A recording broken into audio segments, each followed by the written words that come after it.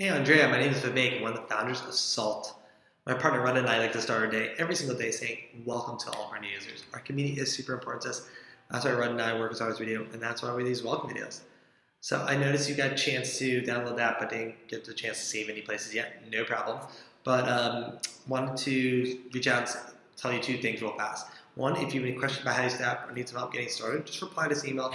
Happy to answer any questions, or maybe I can send you your most desired, most safe places in the city closest to you.